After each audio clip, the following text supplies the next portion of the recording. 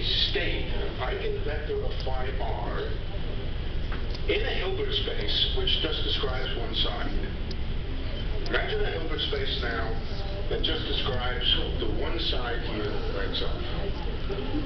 Then phi r would be an eigenvector of the field operator on the right-hand side.